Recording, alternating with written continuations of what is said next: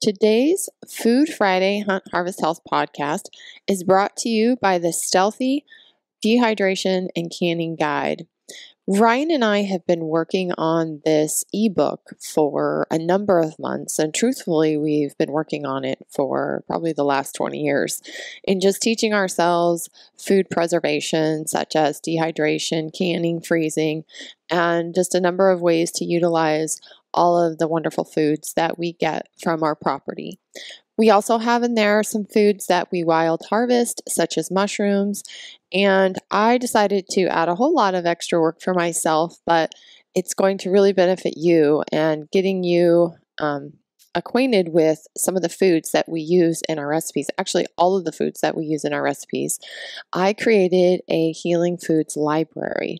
And what I did was I broke down uh, all the foods that we have in the recipes, and I talked a little bit about them, maybe uh, what they are, like the qualities of the plant, and then how they're grown, uh, maybe what the climate, and then what are their healing or medicinal qualities.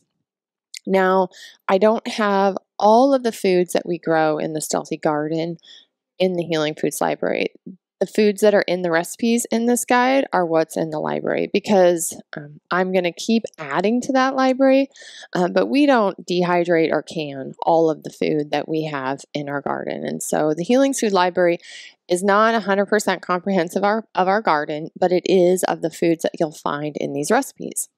This is very exciting for us. This is our first book. Our goal and our why is to get um, you as well as your children and your grandchildren, to understand the healing benefits of food and how it influences many generations to come.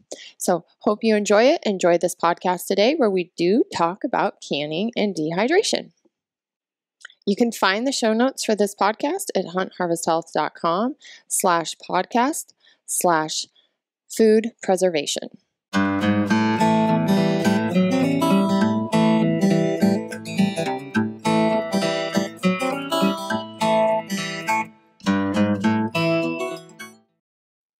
Howdy, folks. Welcome back to the Hunt Harvest Health podcast. What I thought we would do today for today's podcast was we're going to talk a little bit about what we're doing this time of year. We're going to talk about some dehydration, um, things that we're up to, and talk about a little bit of canning. Um, it's harvest season. We are full swing. This is probably a podcast that we should have had knocked out about a month ago but mm-hmm. we're a little mm-hmm. late to the party. We've been uh, just so tied up with everything, and um, quickly realized it's kind of hard to uh, get content out and do the processing and the canning and all the food prep that and not doing. have a kitchen that worked for a while. We just got our yeah, literally today got trim put in our kitchen, so we we're getting a functional kitchen again. And yeah, washing dishes and running back and forth to the bathroom, like uh, to the not to go to, the, the, bathroom, but to do dishes. No, doing dishes in the bathtub is not mm. the best thing to do when you're when you're canning. Um, you really need good access to the sink and yeah. washing things. And uh, it's, yeah, it's we don't live in a big mansion with two kitchens or. I don't know what do people have that have fancy nah. stuff. They have more than one kitchen sink. we live in a pretty modest house, and uh, you wouldn't think it's much, but I got some exercise running from the kitchen where I'm, you know, I've got my pressure canner going back and forth to where the water is because we had no sink, no anything. It was just a struggle. No dishwasher. Crouching over the bathtub doing dishes has been just a blast. But um, yeah, this is a podcast we probably should have done a while back. I know we're getting to that point of the year where uh, you know a lot of people's gardens are kind of winding down which mine is for sure. But I still got a lot of stuff popping out there, and, and we're still able to harvest a lot of a lot of foods. Um, we still got that dehydrator, you know, cranking out a ton of food. So, and then also, you know, we're bringing in meat this time of year. Um, I've had, uh, you know, several several animals so far this year. Um, a bear, actually a couple bears, and then uh, you know a deer and an elk. So, you know, meat's coming in and um, there's a lot of things that we like to do with it um, other than just you know bring it to a butcher and drop it off and have them do it so um, i kind of find Yeah. it pretty rewarding doing it myself, and and I know my meat's coming back to me, and um, I know that uh, you know every step has been taken to make that meat taste as good as it ha- as it can be. So, um, yeah, there's, there's there's a lot to it. It is really time consuming, so it's not easy. We're not going to fool anybody by saying doing all this stuff yourself is easy because it is not, and it definitely sucks up a lot of your time. But uh, it is pretty rewarding at the end of the season when you have everything, you know, in your pantry and you kind of kick the door open and look at it um, and see what you've done. that It's middle awesome. pantry, we have all the. So we have so much stuff this year. The uh, the middle pantry in our hallway, we turned into. We put all the pickled stuff in there. Yeah. And halfway, it's right, but below this, it's like kind of by the stairs. Have you walked up the, the stairway? Like halfway up the stairs, it smells like pickles. And I was like, why does it smell like pickles up here? Because we're not even pickling them. Sometimes when he's canning pickling, the whole house stinks like vinegar for a while. But I realized it's that that closet's venting up, right? And it's going right up the staircase. So you get a nice whiff of uh, spicy pickles every time you walk up the stairs or down the stairs in the morning when I wake up and I come down the stairs and it's like, whoa, pickles. I've got a cruddy sniffer, so I'm not fortunate to be able to smell that. But well, the thing about this whole thing, this whole ordeal of food preservation is that you have to like food. You have to really care about where your food comes from, I think, and where your food's going. Yeah, I think uh, we probably wanted to go with one of our methods of uh, preservation, and I think the first one to start with is dehydration. Um, dehydration is just something we've kind of fallen in love with. We uh, we do it a lot with everything. There's, you know, obviously, you know, we do a lot of jerky, and you know, we do a lot with the meat. But as far as everything in the garden, pretty much everything is get is getting thrown into our Excalibur dehydrator uh, these days. Everything from you know we make a lot of tomato chips or you know sun dried tomatoes if you want to call them that. We also make you know a lot of chips with you know sweet onions and uh, you know a lot of powders. Everything from kale powders, beet green powders, you know everything green, collards, you name it, and then uh, you know we make a lot of berries, dried berries. We'll make powders out of that. So um, that's kind of what we enjoy doing, and we run those Excaliburs. I mean, a lot. They uh, they're always cooking. So Yeah, we we were fortunate enough to uh, ha- we've had one dehydrator for quite a while, and then we were fortunate enough to get two dehydrators, and so we have those running in the garage pretty much consistently um, while we're we're doing up all these foods. and what I love about dehydration is that it's so simple.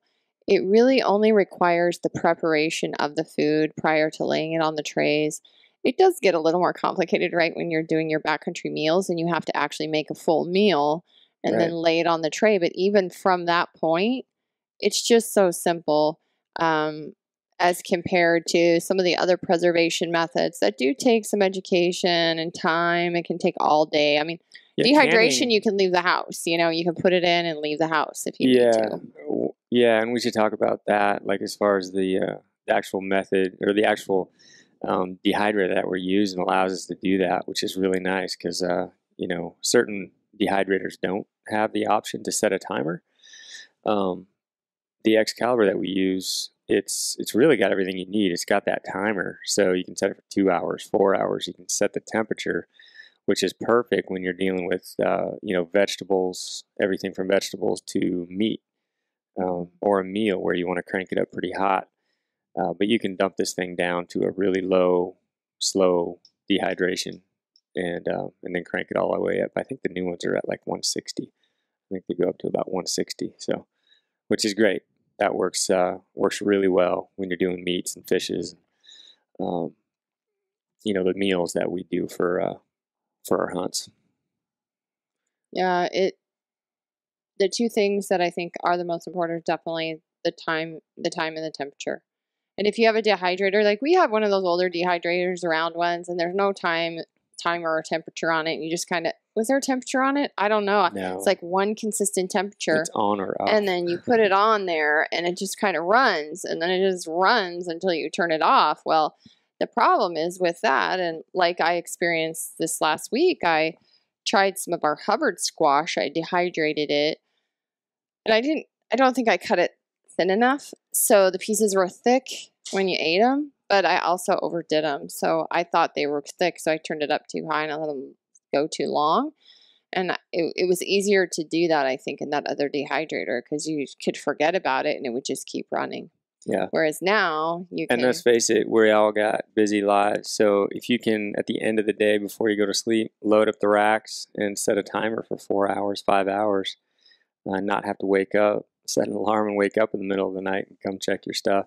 That's pretty nice. It just shuts off on you, and um, and you come pull the racks in the morning, as well as in the morning. You know, if you have time to throw a bunch of kale on there, just set it for two hours and you know go to work Mhm. and then and, come back. and you can do some of your like this summer i did some herbs i did a lot of herbs in the hot house if you have a spot that's really hot gets doesn't maybe get super direct sunlight has a lot of um, heat in it the one thing we have here is we do have some humidity so you can't really there's some things you just it's really hard to dry per se um, but we had a pretty hot summer so i would say some things you can dry um, if it's warm enough to do that. And then, of course, if it's too warm, too, you'll scorch everything and you can't put it in direct sun.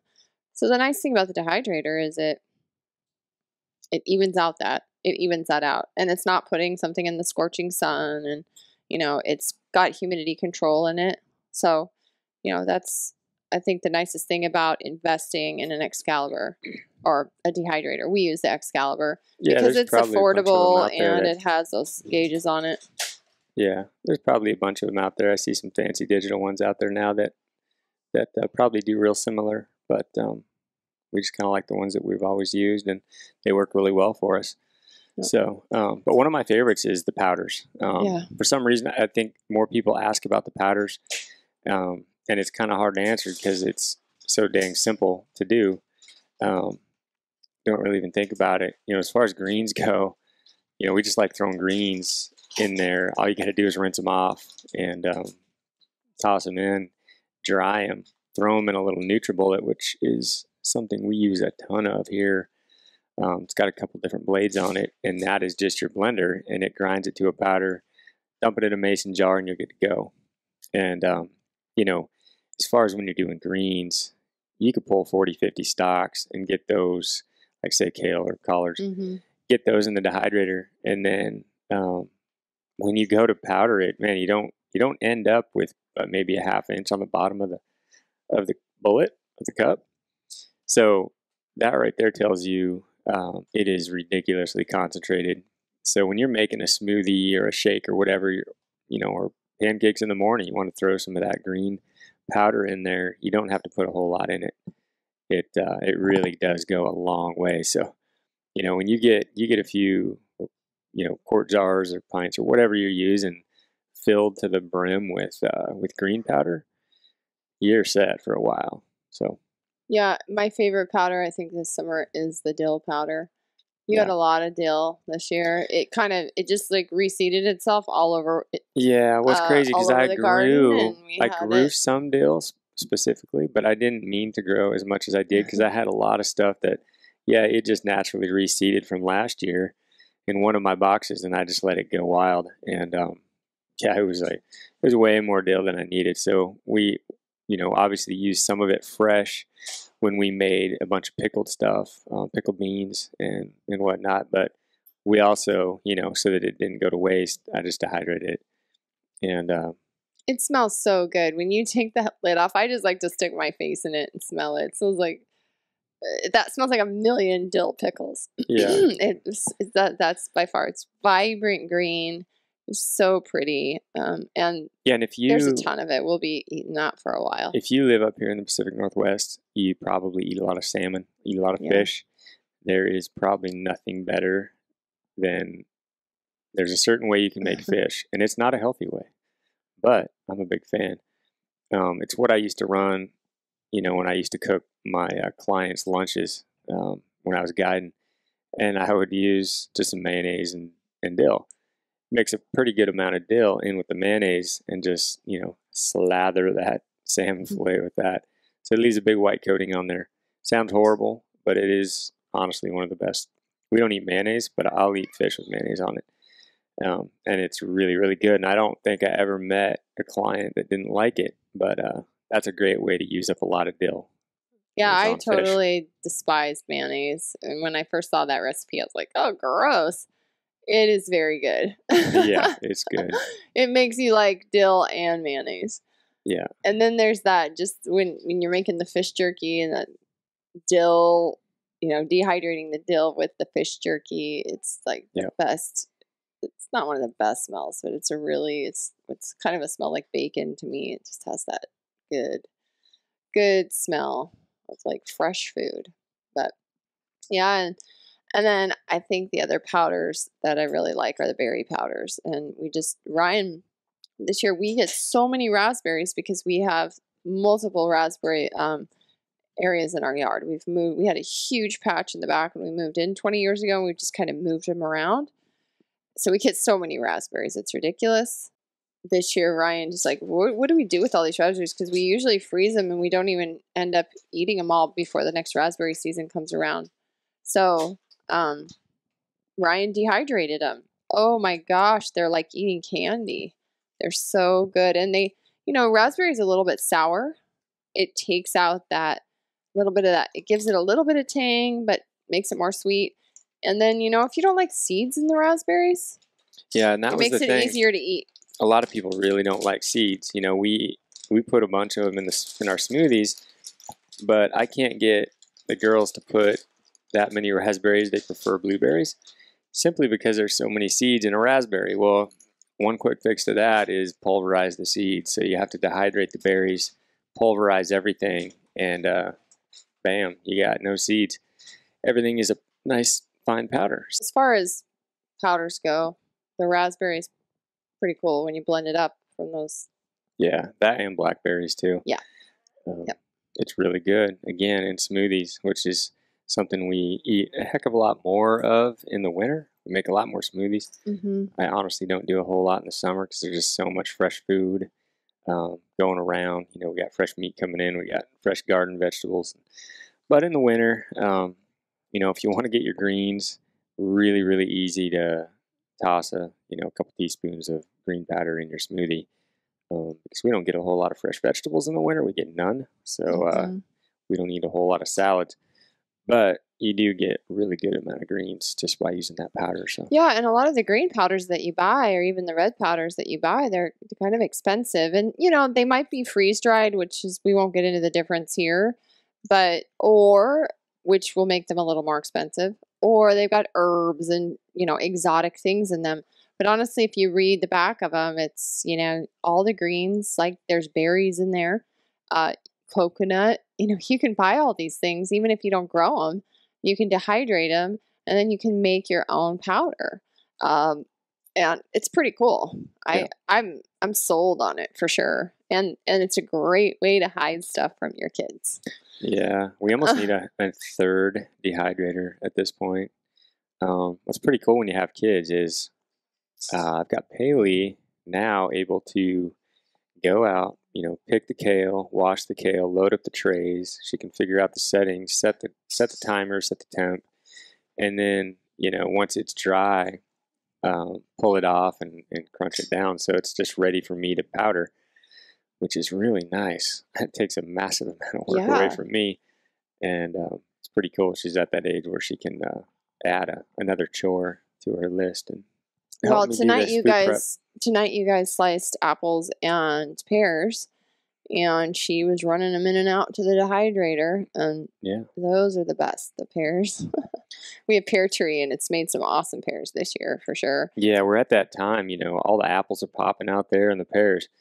And um, of course, us we're going out hunting, so it's a great time to, you know, make up a bunch of apples and dehydrated pears and banana chips and all that kind of stuff. Um, plums, everything that I like to take into the backcountry or just on a hunt or deep, just even driving for snacks. Um, real easy to do, and toss them in a bag or a mason jar and, and take them with you when you're driving. It's great. And yeah, we kind of ripped the last of our pears off the pear tree and just got them all done up. And we got a lot this year. Mm-hmm. We got a lot of bags. So Yeah, they're pretty good. I've even had Peely's tutor and can can I buy you pears and have you dehydrate them for me? Because the kids literally fight over those paired snacks you put in Tana's lunch. You know, they're just so good and and uh, so I think that dehydration. The one thing dehydration does do is it concentrates the sugars, right? So it's Yeah. pulling the water out and it's concentrating the sugars.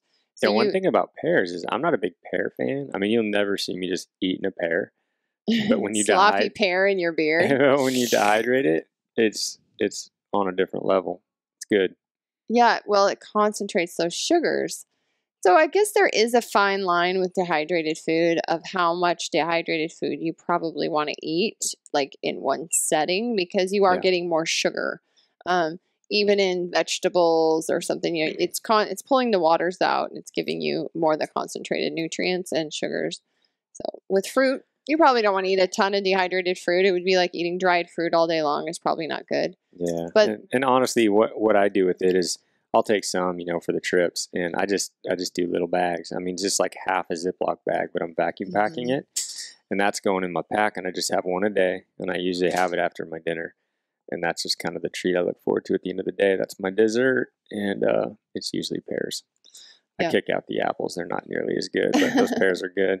Now we do have we do we have made some leathers and I know we've gotten questions about that kind of stuff and honestly I don't find us we don't really make a lot of leathers. I've tried a couple leathers. I tried a chocolate one which was really good. Um but I don't know. I kind of just prefer putting the whole f- fruit on there and just making it and eating it that way Yeah, because when you make a leather, it's like you have to take the ingredients and you have to blend it. You have to spread on parchment paper. You have to make sure it's done just right. Sometimes you have to turn it. Um, it's a lot more work. yeah. I don't I don't really see the point in making a leather when you can just dehydrate Yeah, the, the fruit itself and I eat it. almost feel like you probably eat more sugar when you eat a leather because the leather's thin and you just like chomp down on this this whole thing of leather. Well, That's a lot of fruit on one tray. But this is one thing that is good and it is worth the work, and that's um sweet potatoes. Sweet potato leather, or you know, you can make them into chips if you just dehydrate them a little more. Um, I had a massive amount of bell peppers this year, so one of the easiest recipes, and we'll have this in our book. Um, you know, it's the uh, all I do is I just you know throw some sweet potatoes in the oven, cook them down, get them get them nice and soft, and I just pulverize some of the green bell peppers, and um, you know I I take that, I put it in a bowl, um, you know, blend it up in the bullet, and then I take that, it's like a paste, and I spread that out on parchment paper on the dehydrator, and you can do it really thick. I mean, you know, an eighth to a quarter inch or so thickness, and you know, the thicker you get, you can make it into a chewy, you know, leathery sweet potato, or you can just make chips and, um, you know, put it on pretty thin and then just kind of break them to pieces. And man, that is, it sounds maybe it doesn't sound that appealing, but it's uh, it's really good. It's got a really good flavor to it. But that's one of the things that uh, that I'll actually take the time and make go through the motions and uh, you know take all those steps and make an actual Yeah. leather. Unfortunately, we cannot grow sweet potatoes. it's the one thing that we Yeah. cannot grow here, uh, and I wish we could because they're so good. I would prefer to eat sweet potatoes over, you know, even the potatoes that we grow, but we just can't grow them. So we do have to buy sweet potatoes to make that to make that recipe. Honestly, we don't buy a lot of the foods that we make. We we're harvesting them out of our garden, but there are a few things we can't do coconut. Can't buy coconuts. Can't buy sweet. I mean, we can't grow coconuts. We can't grow sweet potatoes. Uh, but that's okay. I mean, I think most of you out there probably don't have big gardens like we do and hot houses full of tomatoes and all this stuff. So you're going to be buying maybe this stuff at the store. Um, Well, hopefully, course. a lot of people have gardens. I no, I know a lot, lot of of people, people do. I watch people on Instagram, but yeah. you know, maybe maybe not to the level well, that there's we just do. you know you just try to keep it at a minimum. You know, you want to buy as little as possible. Obviously, there's a few things out there like a sweet potato or a coconut that, yeah, we'll break down. We'll buy those, but um, definitely, if I could grow them, I would. We just don't have a long. we just need a piece of property in Hawaii now. And we could grow avocados, and we could live there half the year. We could live here half the year, right? You could hunt axis deer, and then you Okay, yeah, then yeah, you we do need to hunt mule deer. Hawaii. Actually, Yeah, we do. to chase those axis. deer. I got so close to going on that trip last year. Ah, you know, I really like Hawaii, but it is kind of far away from every everything. Um, but wow, it's just so the climate for growing stuff is pretty amazing. Oh, you could just Oh roam my around gosh. eating fruit, Oh, trees, yeah. walk My- around. I have friends who fat and live there, and Ryan went pig hunting in Hawaii when we were there with a local.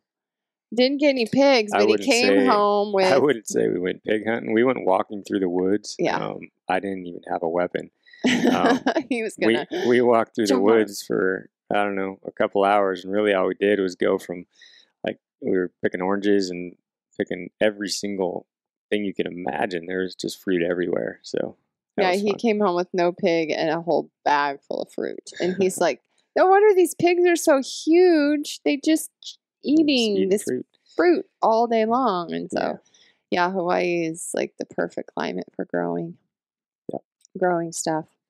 But yeah, no sweet potatoes, but that is one of our favorite things to make. Um, I think the equipment also for dehydration is super simple. You need a dehydrator. You can't really get around that unless you have the perfect climate and you can dry things, you know, Yeah. with plain air out there. But a dehydrator is essential. And then you need some parchment paper, maybe for some of your recipes. Um, Yeah, if you're making meals, something that's wetter like a chili, um, spaghetti, something saucy, yeah, definitely some parchment paper. I think the one expense is, other than the dehydrator, is uh, something we we uh, broke down and got, and that is a slicer. mhm. And you know that thing is incredible. It makes your life so easy when you can just you can grind up twenty pears in minutes and Mhm. and just go through them like crazy. If you're having to individually slice through all those pears with a really sharp knife, it's going to take you a long time. And they're never going to be uniform. So the dehydration time is going to vary. You're going to have to pluck some of the slices off and let some of them stay longer. So when you have the ability to have like perfect slices, it's just and and with jerky as well. We use the crud out of that thing for jerky. It just makes everything uniform and super quick and easy. So Yeah, and is there is a little expense there, though. Yeah. um, you know, they're they're they're a little bit spendy, but in the long run, I you know, I plan on having this thing forever. So, it's how gonna- much is a packet a of jerky at the store? They're not cheap. Like good healthy jerky, I feel is like five bucks a bag, right? Oh, Or yeah, six, seven least bucks a bag. for healthy and- jerky. I'd say for a good clean meat, um, without all the junk and Yeah. stuff. Yeah, you're probably spending a pretty penny to get some of that. Yeah, I think I think the upfront cost can be a little intimidating when you start. You know, if you're some people aren't challenged by that. We've just collected things over the years, right? We we had a dehydrator, and then we were fortunate enough to have somebody give us a second dehydrator, um, and as a gift, and you know, and we Ryan's bought a slicer. He's bought the meat grinder. You know, over the years, it wasn't like we bought them all at once we were doing a lot of stuff by like old school ways for a long time. But now you just kind of grow it and then you get a slicer and you're like, why did I not buy a slicer like 20 years ago? This is amazing, you know? Yeah. Um, so there are some of those things. But then you're looking at like maybe you need a vacuum packer. We have a small um food saver Yeah, but I never use it. for like it. apples or pears maybe in the back country or if you're gonna vacuum pack your dehydrated meals Yeah. for for weight. Well, we're spoiled rotten because with my business, we have a big commercial vacuum packer. So Oh, um, yeah. I can crank out, you know, let's see, 12 bags at a time if I want.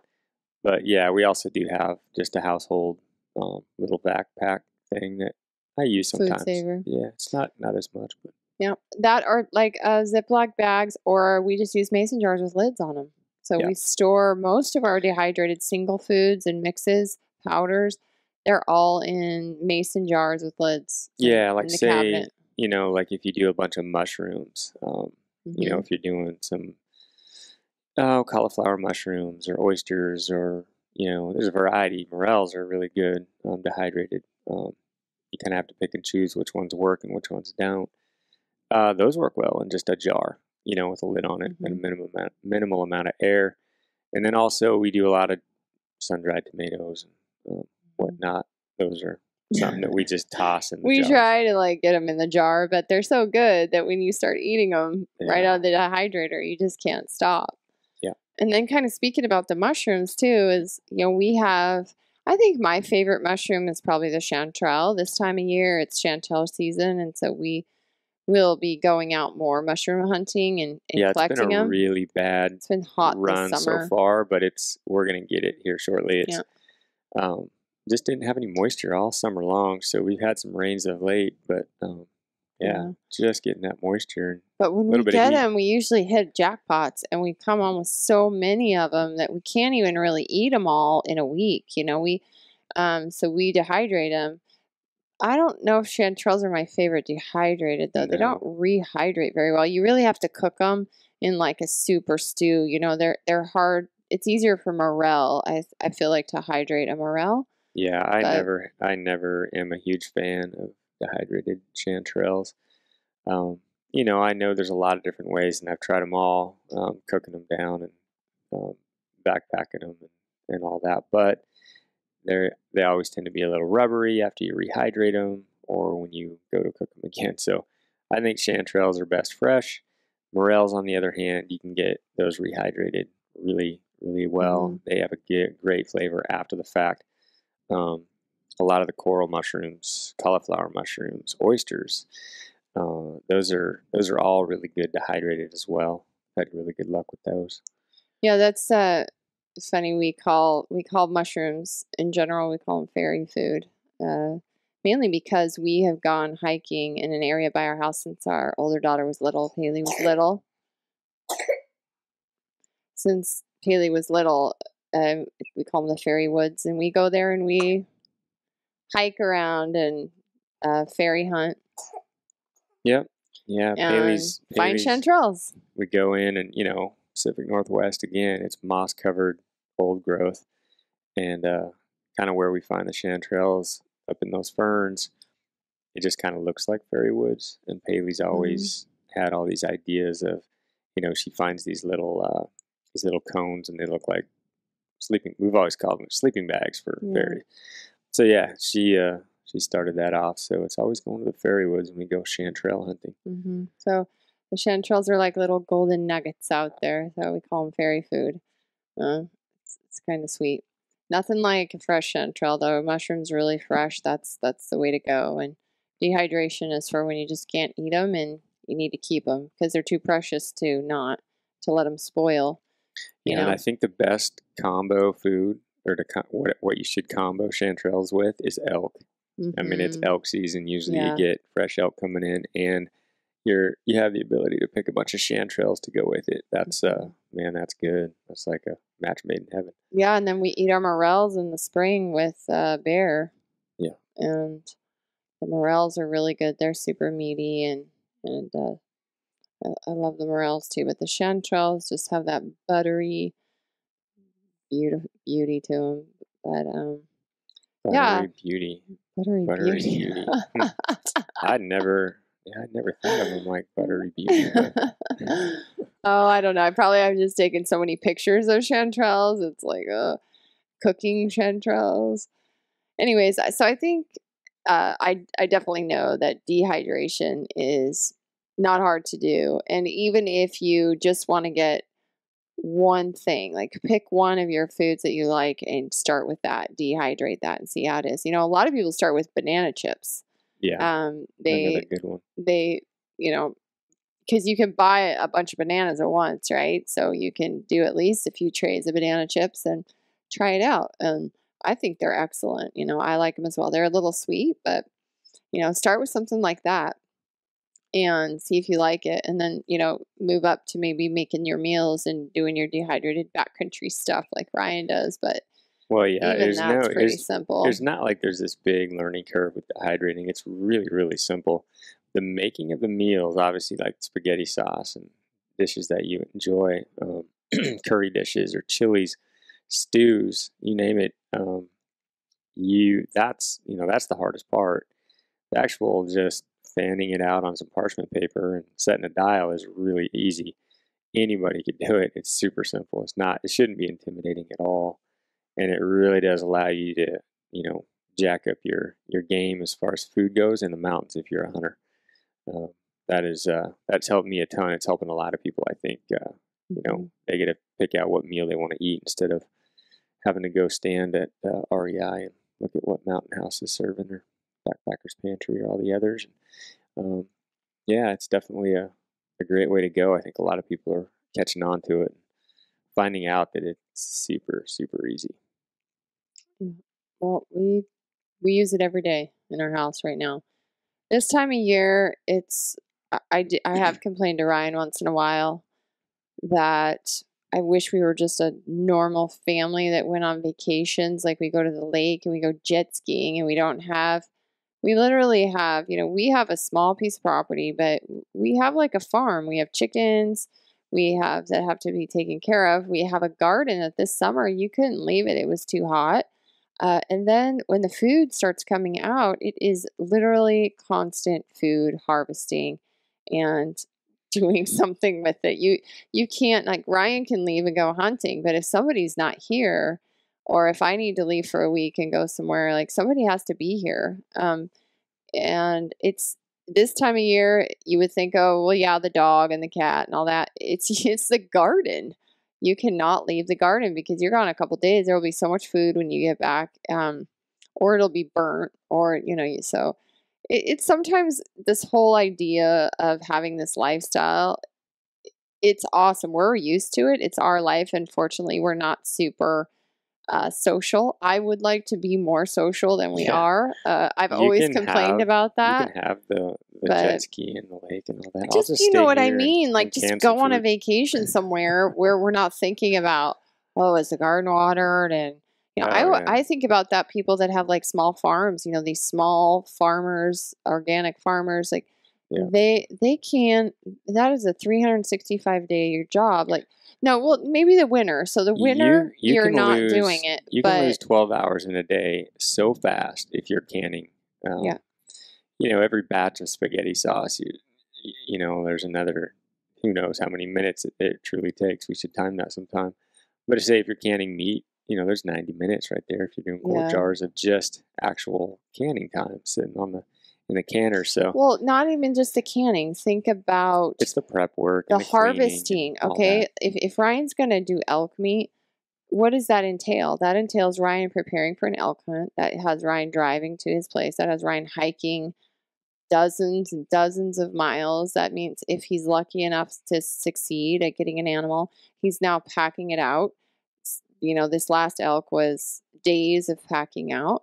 He gets home and then it's days of cleaning meat prepping meat and then after that and, and vacuum packing and uh, hamburger i came home one night to like a hamburger explosion in my kitchen because he had the grinder out it's just like it's craziness and then and then after that you're gonna can it possibly. I mean it is like we're talking it could be weeks of solid work like you have no job Well, it you is just sit here and you do meat and that's not including your vegetables that's not including your spices that's not including your fruits. So it is um, for us it's become really a labor of love and it's part of our lifestyle and and now we couldn't imagine like what would it be like to have to be go to the store. I still go to the store and buy stuff you know? This time of year i buy spinach and i do that we don't grow that you know? It's but i rarely buy vegetables i rarely buy fruit um, and even now we're getting to the point in the winter we're barely buying that stuff either Mhm. right and so now we love it and we're used to it we know Yeah, we feel just- better when i eat out i feel horrible It's just a lot of work. Um, but it is a lot of work you can't hide the fact that it takes a lot of time to do it. So so just start with banana and slices and, you'll be good. Like just No. start slow. no, it's the meat. The meat processing takes a lot of work. If you're doing it by yourself, you know, there's just a lot of time spent grinding. And if you decide to make some sausages or make, make some different things like that, yeah, it takes a lot of time. Mhm. Um, you know, just grinding it, grinding it twice. If you're going to add some some clean fat to it, or you're going to, you know, add some spices. And um, I this year, you know, I I I mixed it up. I like to mix it up and try new little spice recipes into the burger and uh, you know just flavor it up a little bit in different ways. And then yeah, I canned a bunch of elk meat as well. So um, and there again, you can get creative with how you can all the meat. You know, you don't just have to add, or you don't just you know have to do it one way, which is you know most people just add a little bit of salt and that's it. And then uh, uh, you know you can also add so you can add pepper, you can add you know uh, strips of hot peppers. You can make it spicy. You know, mix it up. Even with the canning, y- you know, you can add. You don't just have to add salt.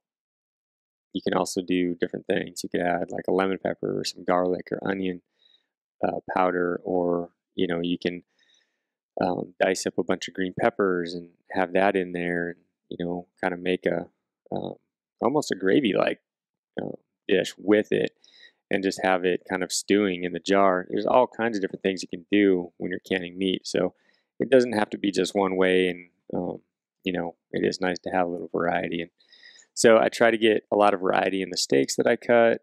Um, and then different ways to of doing burger, a little bit of sausage and, and yeah, the canning. And so, yeah, it takes up a lot of time, but it's so well worth it in the, in the off season when you get to chew that stuff up and, um, pull something new out every once in a while. So, uh, yeah, I enjoy it. I really do. I, I could never imagine going back to, you know, what I used to do way back. And that's, we used to cut the steaks off and then just bring it to the butcher and have them grind a burger. And um, I don't know. I always had this little, yeah, something I didn't like about doing that. Whether it was because I wasn't positive I was getting my own meat back or I just wasn't sure that they were going to take care of it like I would when I do it myself. I know exactly what's in it and uh, how it's been handled. So Yeah, we we have saved a lot of money too over the years just doing it ourselves. It, it's Yeah, the absolutely. time, right? A lot of people, it's the trade off. What's your what's what's your trade off for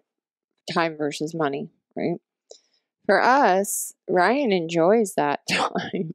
A lot of people don't. They don't want to do it. Uh, I would say, I, it's not that I don't enjoy it. It's just that you know Ryan really, that's his thing. You know, like I'd love to tell the story of when I, I had this job where I traveled a lot and I'd be on the East Coast or something at a dinner on a Friday night with business clients and I'd get a text from him and it'd just be a picture of like 20 jars of canned potatoes. I'd be like, honey, you need to get a life. Like, this is a Friday night. You're at home canning potatoes. And he loves it. You know, that's, it's like a meditation for him. Um, probably like solo hunting. You know, he enjoys the challenge and he's very patient with it. You know, it does take time, especially the canning, which we'll probably get into next year. Is is uh, yeah, that should. takes a whole lot more patience. yeah. Let's get into the canning. Let's Um, do it. Let's talk about the equipment first, maybe. I think uh, you know there's a little bit more involved with the canning um, from you know what you're putting your food into as far as mason jars and sizes, and um, there's definitely some guidelines that you have to follow. You really do want to get um, you know uh, uh, uh, I- either something you can kind of follow exactly as far as times weights um, that you're using with your pressure canner. Um, if you're in altitude, you want to change things up a little bit as far as timing. Um, there is a lot to it, and uh, to be perfectly safe, you want to follow those guidelines because you do not want to get. Uh, people used to die, you know, back in the day when things were not canned properly. Uh, botulism was a big deal, and uh, hmm so, you know, things you just definitely want to avoid. So there's, you know, basically there's two ways of going about canning. You can do a water bath, which is real simple and real effective if you're doing certain type foods. It's something that we do, like, um, you know, say if I'm just making some jelly or jams or um, one of the dishes I make a lot of uh, is uh, jalapeno garlic jelly, and that is what I use for meat and canned food, canned meat, and it's really really good. Um, but I would not want to make all that if I had to actually run it through a pressure canner. It's just a lot more time. So when you water bathe, it, it's it's super simple and it's faster. Um, and what what are some of the foods? What's the quality? Is it the, the acidic content of these foods that you can yeah. just water bathe versus? Yeah, typically the, the, rule of thumb. Yeah, um, like say spaghetti sauce um, that you add a bunch of things to, like say uh, if you add a lot of peppers and a lot of you know onions and, and whatnot, um, you got to keep that uh, that acidity right. So uh, if you do that, you may have to add lemon juice to keep the acidity up. But I just I do all my spaghetti sauce in a canner. Um, I think that's probably what's recommended. I think it's safer, um, you know, in a pressure canner. Yeah, you're pressure cooking it. And you know, yeah. I'll do spaghetti sauce as well. Um, sometimes where I add, I have the meat already added into it. And anything that's got meat involved, you have to pressure can it. You do not want to water bathe it.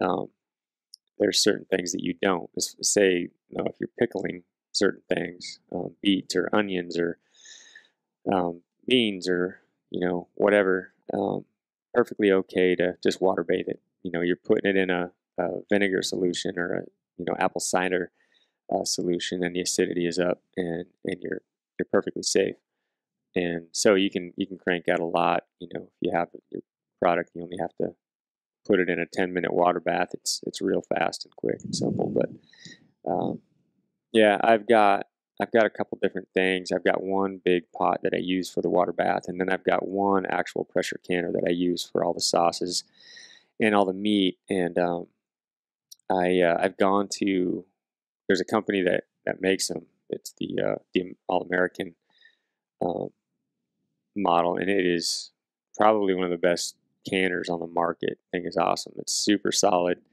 The latches, everything, the dial, uh, the pressure gauge, um, all There's solid. no plastic pieces on this thing. Right. Let's put it that way. Right. No plastic. And there's a reason for that. You want to tell that story? Why do we have the All American pressure canner?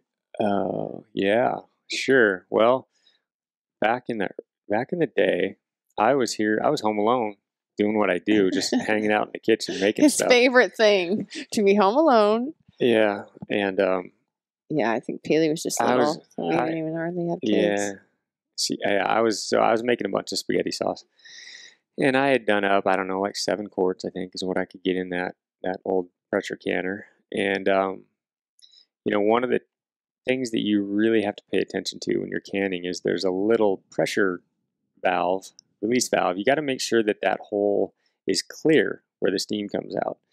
Um, that's where you put your weight on. Well, apparently, um, you know, with the old canner, I couldn't really get a clear view of it, and it, it obviously was plugged because. So I got everything set on there, and uh, I had eaten. I think I was eating spaghetti, making spaghetti sauce, eating spaghetti, and so I'd eaten it just standing right there by the stove. And this thing is obviously gaining some pressure, gaining some steam. And so I, I walked into the living room and all of a sudden it sounded like I had a jet airplane in my kitchen. it was like a bomb of steam went off. And um, it depressurized everything inside the canner. So that lent everything to come out through the top it blew. There's a there's a safety um, release little thing, plastic thing. I don't know what you call it on canners in case all else fails. You know, and it doesn't just blow. You know, and send shrapnel everywhere. It it releases out that. Well, that thing blew out, and so I don't know. It's like a half inch hole, maybe a little less. and so everything came out, went straight up to the ceiling, and there was um, it was raining pink spaghetti sauce in my kitchen everywhere. I could not get to my stove to turn it off by one way because it was pouring, you know, so stuff off the, off the ceiling. So I had to go and crawl around the other side and reach my hand up, kind of just guessing where the dial was because my whole kitchen was nothing but steam and um, and hot water coming off the ceiling. And so yeah, I turned it off and hung out and waited for it to depressurize a little bit more. Yeah, my whole kitchen was loaded with pink spaghetti sauce from top to bottom. So I spent the rest of that night uh, trying to get it off the ceiling and everywhere else. And the worst part is I lost seven cans of spaghetti sauce. Oh my gosh, because it takes a long time to make seven cans of spaghetti sauce. It takes Yeah, seven day. quarts. That's a and that's a lot. cooking it down and peeling his Yeah. tomatoes and Yeah, it was a mess. I was pretty bummed out about it. So, um, yeah, I just didn't like the design of that thing, and so I uh, I went and got the the best pressure canner I could, and that was that All American. So it's it's just I've had no issues with it. Real simple, Mhm. real strong. Uh, not going to have any any little pieces break on you. So that's yeah. what I've gone to. It's definitely worth it to get to pay a little bit more for that if you're going to be canning a lot. Just safety, safety alone, and Yeah, and you know, it was partly my fault because I didn't make sure that that little valve was clear. You know, right. but I couldn't, I couldn't see in there. So I don't know. It's one of those deals. It it was a pretty funny thing that happened. But All right, so we have our all American pressure cooker. What else do we need for canning? So there's a few things. You know, you need some tongs to be able to lift the jars out, put them in, lift them out. Mhm. Um, they have kits out there. Honestly, They're yeah, really we we'll put one on our website. We have, I have a canning kit on there with jars and Yeah, I all you that got like stuff. a, a funnel, so you can just kind of slop spaghetti sauce into your mason jars and Yeah. not get it all over the rim.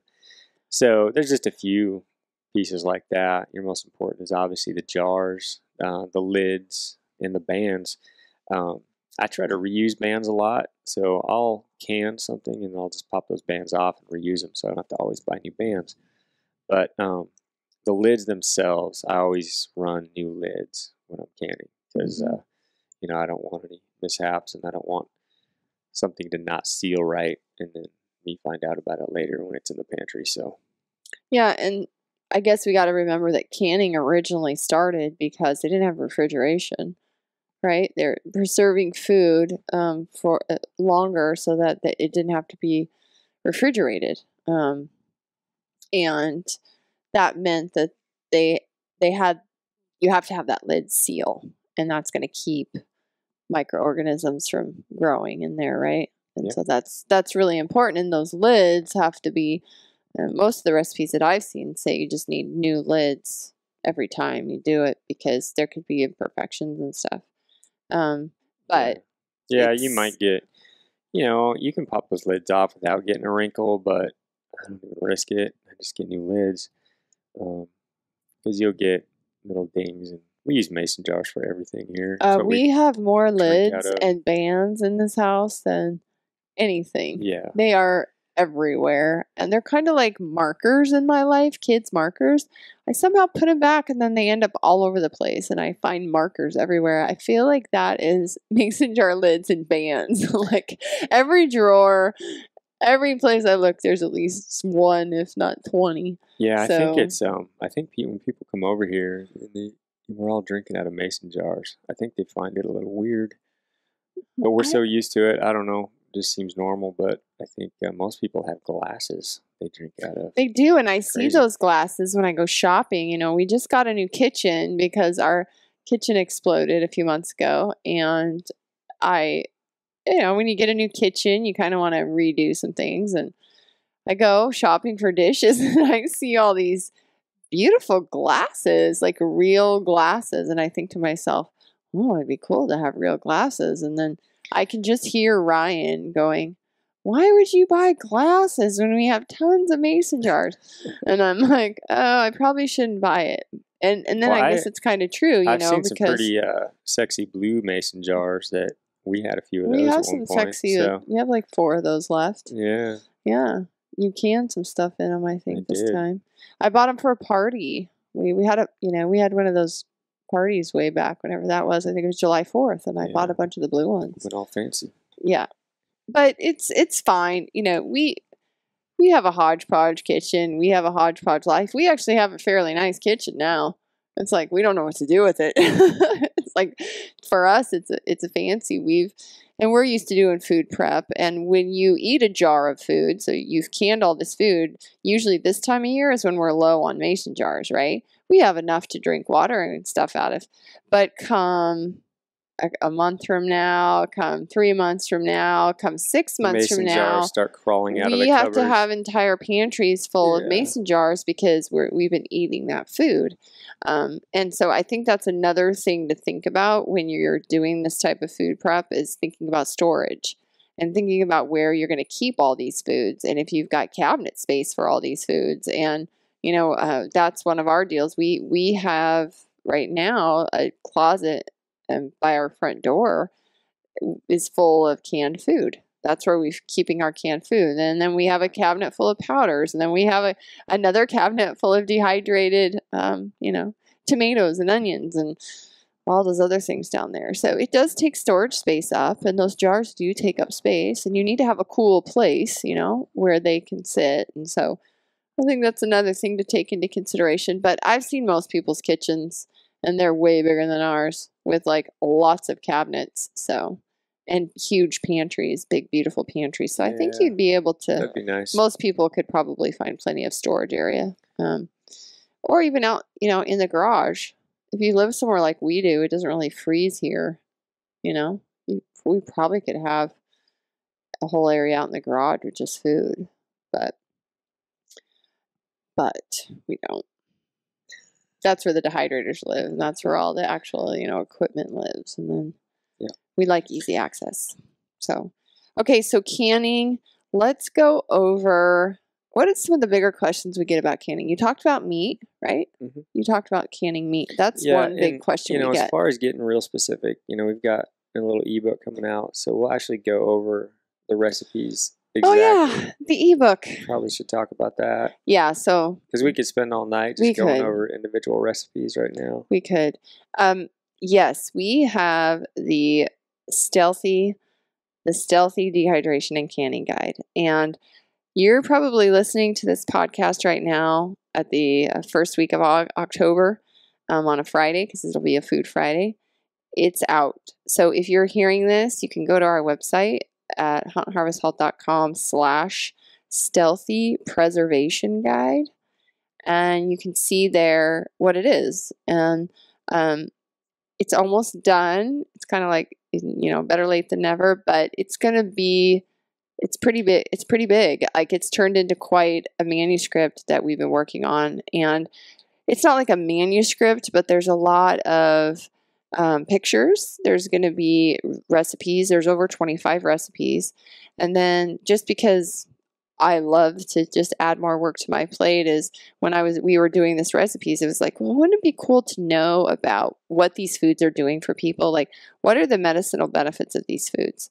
Because truthfully that's really what this comes down to right is having a relationship with the food that you're eating and understanding what it's doing for your body. Um, we know that if we don't eat we don't we don't stay alive right? So what are these healthy foods doing for our bodies and what parts of our bodies are they helping and all that kind of stuff? So i did a um, healing foods library. So all the foods that are in the recipes that we have or that we grow in our garden for these recipes they're in that healing foods library. Unfortunately i didn't do a healing foods library on every single food in our garden because uh, that this book would not be coming out until next fall because we have a whole lot of other foods that we have in the garden that we don't you know we don't dehydrate necessarily or can we're eating them fresh throughout the season i i'm pretty excited about it it's our first real book Yeah, we'll get- together We'll get better about being timely with things like this because we are a little bit late. You know, I know gardens are wrapping up, but there's still a lot. I mean, we're still processing. well you stuff, can so- get it and you can use it next year you can Sure. you can plan your garden in there there's also the StHealthy hunter guide um, um garden map and you can go to our website right now and get that that's on our garden tab i made this little fancy picture pdf of everything we grew in the garden this year and how we grew it you know boxes or whatever and i'll have that included in the guide. And you know you could plan for next year. You could plan if you're going to have a little garden. You know what are you going to grow? And then think about food preservation. What are the foods that you like to eat throughout the year?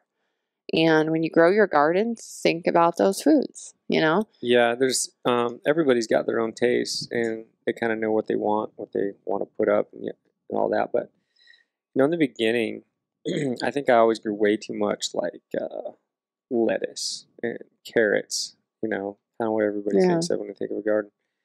But we would never even come close to eating all the carrots that I grew.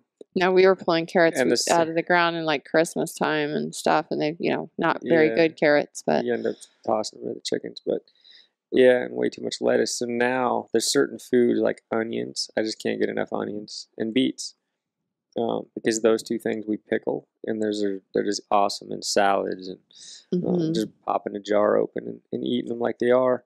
So there's certain foods that you know you'll over time figure out. Well, I need to grow way more of this and way less of this. yeah.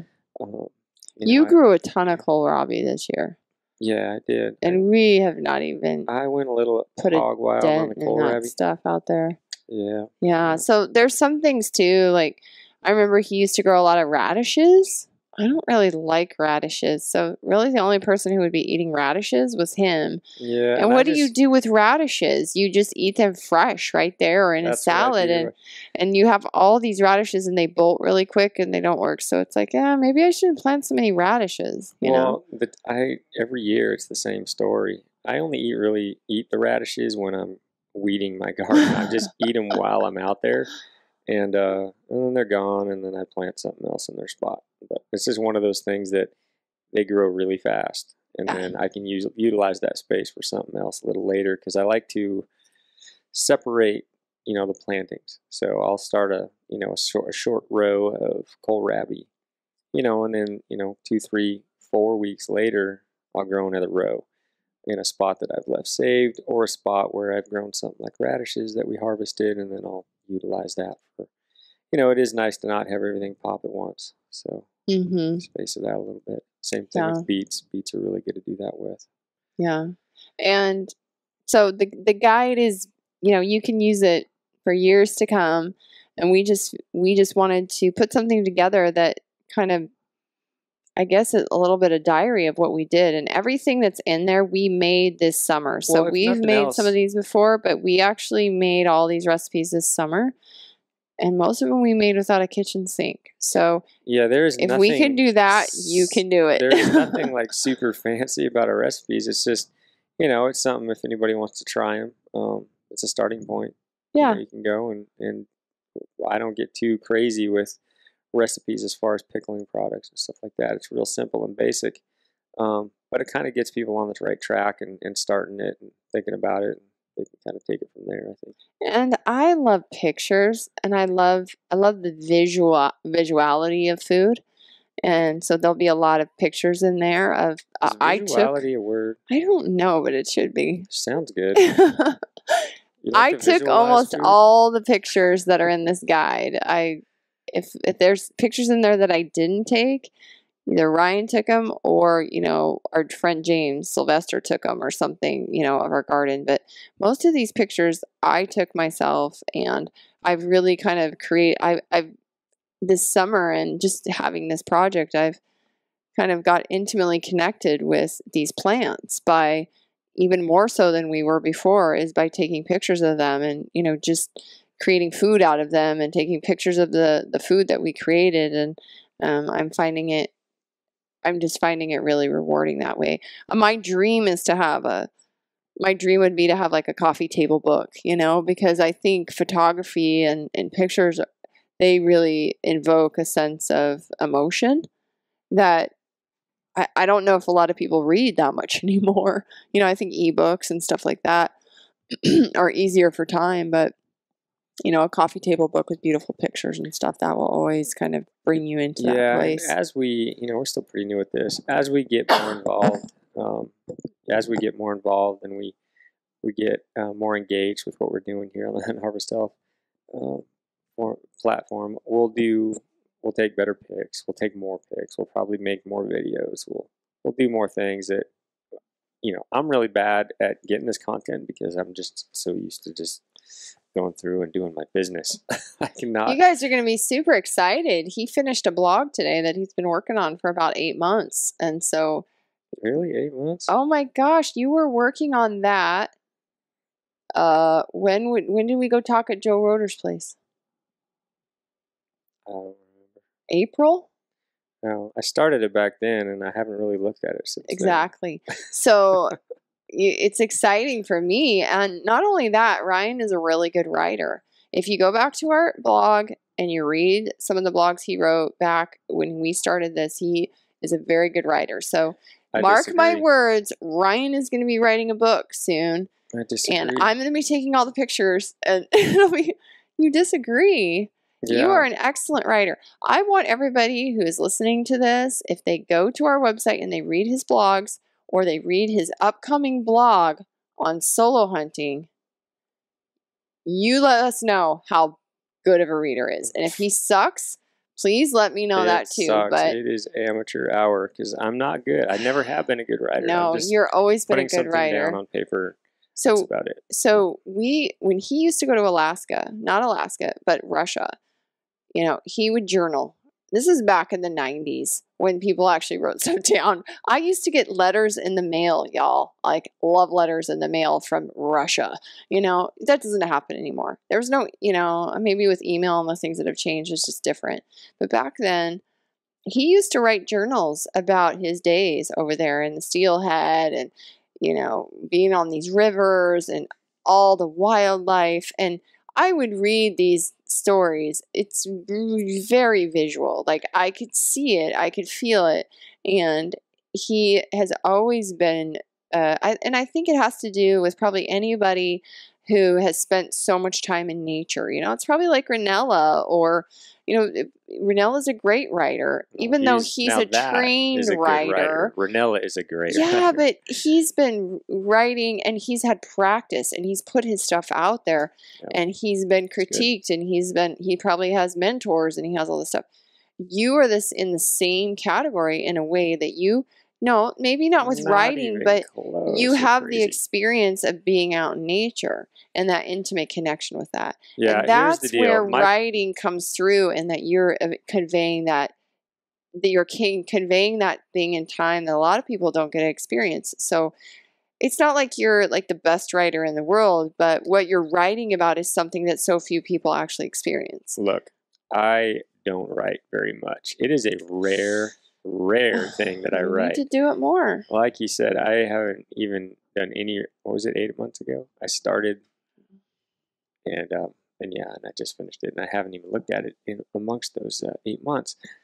So I just don't write very much at So all. you'll I always find something else to do. yeah so what you're hearing now is is that in the book our our first book here the ebook i did most of the writing and i took the pictures. Ryan did most of the recipes and he did most of the actual labor. So ryan is the, the workhorse and i'm the workhorse in the fact that i like bringing creative stuff together and making it happen. He is the one who actually experiments and learns and researches and does the work. So you know, we make a fair we make a good team with that. Um, I I think he's a good writer because he has these experiences, like I said, that very few people have had. And I feel like when I read it that I can walk into that place and maybe not fully understand it, but I can I can imagine it, you know? And that is the sign of a good writer to me. Right? I don't know why So- we're talking about good writers. There are no good writers here, but So I'm not a good writer? well, you're the best Yeah. writer. You're really good. Come on. I would prefer. Can you give me some kudos after I just wrote a hundred pages you. of something? oh no, I'm just saying that Ryan is actually the one who did all the work as far as figuring these things out, and and I put it into form. So Yeah, I uh, I'll take shoveling dirt any day of the week over writing. It's just me. you you, I love it. you guys would get a good it. laugh at him ab- about getting this done though um, and we've talked about this on the podcast before where it's kind of like when he wants to do what he's going to do it's like he's going to do it which is usually hunting or i got to go outside and do something oh oh i got a canned tomato sauce today do you know how much work it is to actually can tomato sauce it's quite a bit of work it's it's a lot of work so most people would be like uh i'm not going to do that well, Ryan would actually rather do that than sit down and finish a blog. So, Absolutely. so you know, he's going hunting again, which is what he wants to do and he's good at. But I said, listen, you got to get this done for me. And I mean, you should see he's writing really good stuff, really good content, and you'll see it when you see it when it gets out, when I get it out to you. He's got this scowl on his face, like That's he's horrible. just being tortured. and I'm like looking at him, going, Are you okay? And he's like, What? And then, you know, I can multitask a million things at once. So I'm listening, I'm doing patient treatment plans, I'm writing half the book, and I'm listening to a lecture on neuro something. and he just looks up. I can't write while I'm listening to this guy talk. And then I go, geez, okay, I have to put my headphones on. You know, he's very, he focuses on one thing, but you would Oh, think yeah. that you I would think I that somebody pooped in his a- picnic basket just trying to get him to finish this blog, you know? Mm, yeah, Yeah. I'm not a multitasker in that way. I can multitask around the kitchen, but he can, he can. no way can I listen to a podcast and try to like come up with a half not horrible little short blog. Yeah, well, anyways, he's a great writer. This book that we wrote, we worked on, we both did our equal amounts of work on it. And hopefully you will, you know, buy it. It's not expensive. Um, and I have to say, anybody who's written anything, written a book, you feel like this should be gold. I should be selling this for a thousand dollars. And then you're like, this is just a little book, you know? It's uh but there was a lot of labor and love that went into that little thing. So if it gives you any like help with what you want to do, it shares a little bit of our lifestyle. Um, it gives you ideas for what to cook up in in the kitchen and especially you backcountry guys with your backcountry meals and uh, that's really what was our goal right? Just just help people to to live simply more simply. Yep. um, because you think about the days i guess simple is probably not the word. We could spend if you didn't have a job like in the old days like homesteaders you could literally sp- i mean i think women did this and men did this your entire day you know tribally we've talked about this your whole day is preparing for the next day or for food or for meals and you know for winter and all that stuff so it's not really simple. It's just not quite what the world is today. So anyways um, again you can check that guide out huntharvesthealth.com slash StHealthy preservation guide and you can email us instagram us you can share your recipes on social media um, and let us know what you think and ryan's off in the morning Let's wrap this up. to go deer I hunting go to sleep. I am getting up at 2 a.m. to get on the road. all right priorities Absolutely. okay y'all well thanks for listening in hopefully this has been helpful Take care, guys. Hey, folks. Thanks for listening to the Hunt Harvest Health podcast. If you enjoyed the podcast, please leave us a review on iTunes or Stitcher. Visit our website at huntharvesthealth.com for more podcast stories and recipes. Follow us on Facebook and Instagram at Hunt Harvest Health. You can also message me at Healthy Hunter, that's S T H, and I will be more than happy to answer any questions you might have. Also, tag your photos Hunt Harvest Health or Get StHealthy as we enjoy seeing what you guys are doing as well.